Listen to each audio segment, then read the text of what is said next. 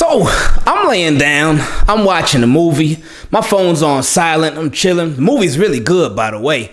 Um, it's about two hours long. I'm halfway into it. I'm at the 57 minute mark. So when I go back and finish, I'm gonna finish the movie. But anyway, um, I feel my, my watch vibrate, so I look at it and it said Instagram message from Eli. My guy Eli, he hit me up and he said, You're probably making a video on it as I'm typing this, but Ravens just signed former. And I'm like, Oh, it's, it's probably something about maybe he just saw the news about the Saints, the former Saints safety Marcus Williams. So then I open Instagram and it says former Jets right tackle Morgan Moses. Like what? What? The late night EDC. EDC go to sleep, man. You go watch a movie. As a matter of fact, no, no, you don't. You keep working. You keep working. Keep it up it seems like a lot of the names that some Ravens fans had kept pitching and kept talking about is coming together. And see, we, of course, Marcus Williams was signed earlier today. And there were so many people like, oh, that's just defense, man. And I can understand the frustration now. Trust me, I do. But I said, I told people, just wait. Just wait. We got a long way to go, but just wait. Let's let everything play out. And I love this. I love this because they signed a tackle. A tackle. And that's been the issue with the Ravens was at tackle. We talked about how this season, sorry, I'm hyped. This this one got me more hyped than the Marcus Williams one. Because we've been talking about all off season long. They need to go at it as if Ronnie Stanley is a bonus, as if Ja'Wuan James is a bonus. They need to go at it like those two guys, getting those two guys back is luxury. Because you just you you can't count on them. You hope that they're back, of course, especially Ronnie Stanley. If Ronnie Stanley comes back and he's fully healthy, oh boy, oh boy. But you have to go into this season like he may not be back. So I love this move. And and the deal, when you look at the this, it's, it's a three-year, $15 million. So five mil per. So we five mil per man, five mil per. Thank you, Eric. Thank you, Eric. We talked about in the Marcus Williams video that that could not be it, and it would not be it, and it better not be it. And it wasn't it. So there, we go. It wasn't it. It wasn't it. Eric DeCosta said in his presser he said it was on him. He said it's on me. The whole the offensive line, that's on me. And it was. Because he's the one that established the roster. He's the ones that he's the one that builds the roster. Um, and the because the way that the whole Orlando Brown Jr. situation went down, and I still I still don't understand why people feel like like the Ravens absolutely had to trade Orlando Brown. I just I never agreed with that at all. They never had to trade Orlando Brown Jr.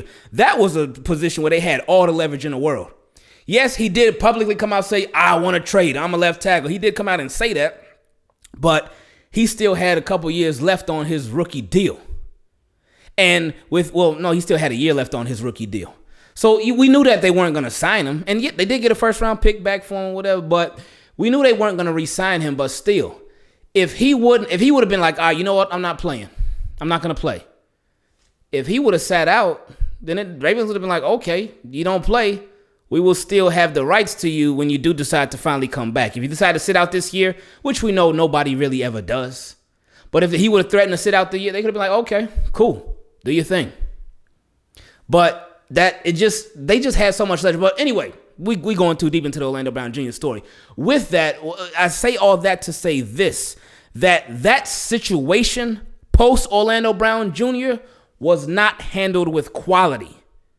They handled it with quantity. With, oh, yeah, we got a guy to replace him, but it wasn't a quality guy, it wasn't a quality player. And maybe if Ravens would have been more healthy, um, then it would have been a lot more running, possibly. Um, but anyway, it wasn't quality.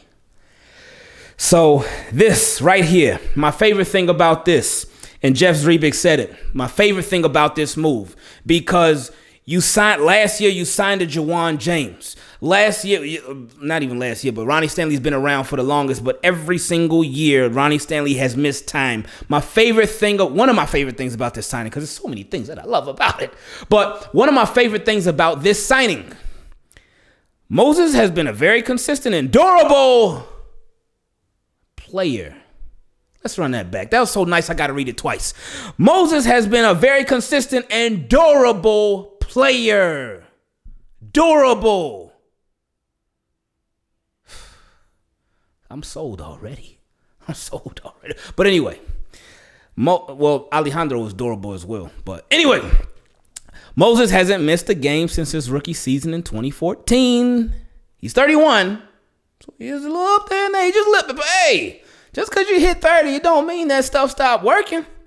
But anyway, uh, he played last season with the Jets after seven seasons in Washington. I remember, I remember always hearing about him in Washington.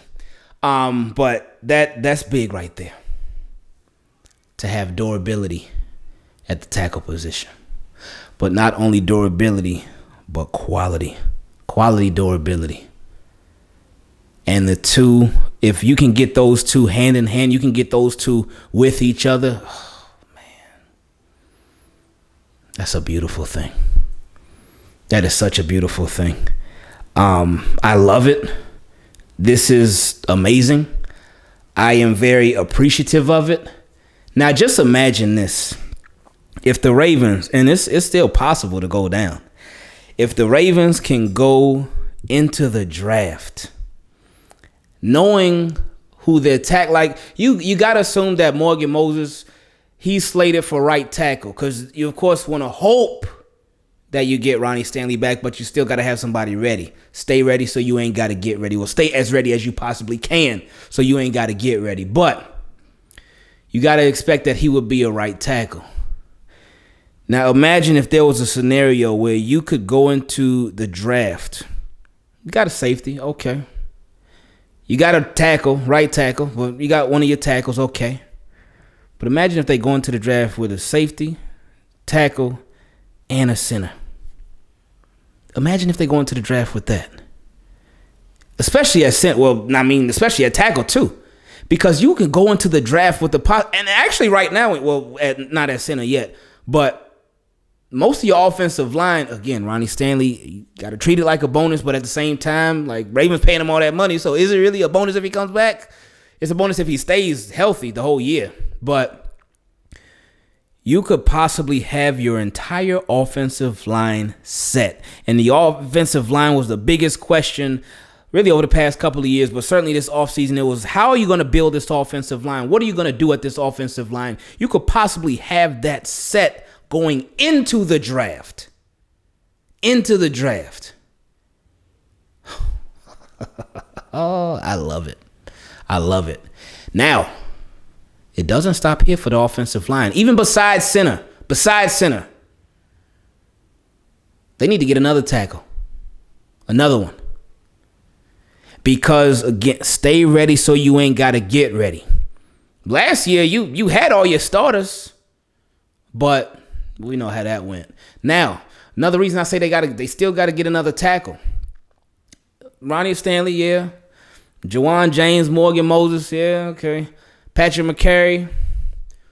you want as much quality as possible because you never know what could go down as we saw last year. Just like that. Or really for the Ravens, it was like that and like that and like that and like that and like that. It, it was nonstop. So they still need more. But they are at a very good pace right now that I personally love. Love, love, love. Thank you, Eric. so far so good. No, the first day everybody was tripping out like, man, these Ravens are not doing anything. This is better. Keep it up. Keep it up. Oh, please keep it up. So I'm sure no, we don't mind this at all. Um, and yeah, that's that. That's that. Ravens with the late night signings. So I wonder what's gonna happen next. Um, Oh, the Saints they got Marcus Maye. Okay, they had to replace their guy. Um, but yeah, I uh, what's gonna happen next, man? Um, mm, I don't know. Oh, don't know, but I, am just very glad, man. Very, very glad because let's let's really again let's go in, let's go all in, all in. Push all the chips to the table, push it all forward, man. Let's go all in. Let's not just be just let's not just be winners. Let's not just be a good team. Ravens don't need to just be a good. They they they've been a good team. We over them being a good team. They need to do what it takes to be great.